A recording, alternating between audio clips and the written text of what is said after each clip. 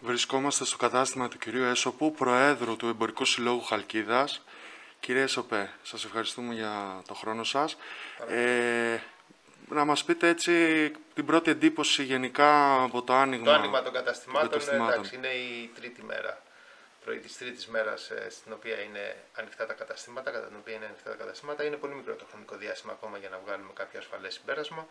Κινητικότητα υπάρχει στους εμπορικούς δρόμους. Ε, τα καταστήματα νομίζω ότι έχουν ε, διαθέσει τα εμπορεύματά τους σε πάρα πολύ καλές τιμές. Ε, υπάρχουν ε, εμπορεύματα από το πρώτο lockdown του Μαρτίου του προηγούμενου. Επομένως ε, οι καταναλωτές θα βρουν καλά εμπορεύματα σε καλές τιμές αυτή την περίοδο και βλέπουμε, θέλουμε να είμαστε αισιόδοξοι.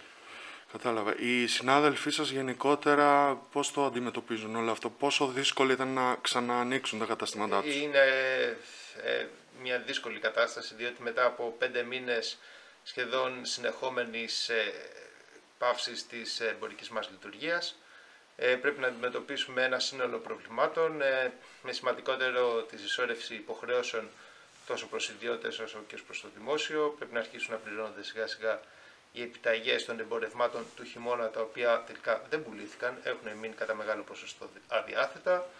Υπάρχει σημαντική έλλειψη ρευστότητας αυτή τη στιγμή στα καταστήματα, κάτι το οποίο δυσκολεύει και στο να φέρουμε καινούργια εμπορεύματα, αλλά και να αντιμετωπίσουμε ε, τις λειτουργικές μας δαπάνες. Είναι ένας δύσκολος γρίφος. Καταλαβαίνω.